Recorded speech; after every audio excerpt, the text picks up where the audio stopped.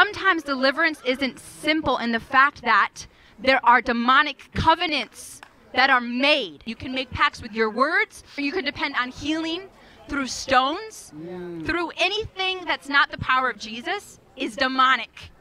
So new age things are all demonic powers.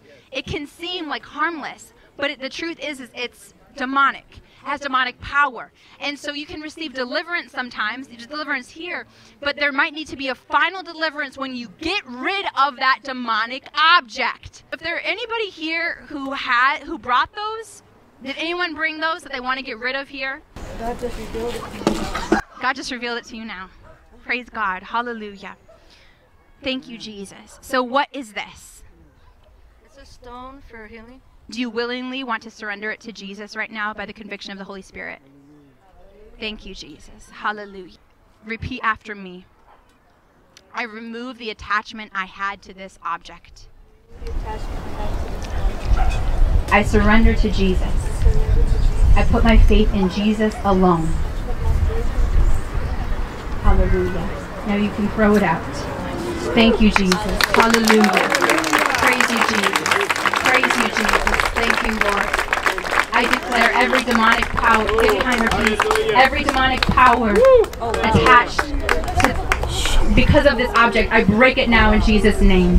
I declare every demonic spirit to go now in Jesus' name. Everyone out of her now. In Jesus' name. Thank you, Lord. Thank you, Father. Everyone go. Every, you can't say anymore because it was thrown away. You have to go now. Out of her. Out of her. Out of her. Thank you, God. Out of her. Thank you, Lord. Thank you, Jesus. Out of her, everyone. Thank you, Jesus. Thank you, Lord. Thank you, Father. Thank you, God. I declare that you are free now in Jesus' name. You are free from every demonic power attached to that ring now in Jesus' name. Thank you, Jesus. Hallelujah. Hallelujah. Praise God. Praise God. Look at what the wonders of God does. It reveals to us the truth of the spiritual realm.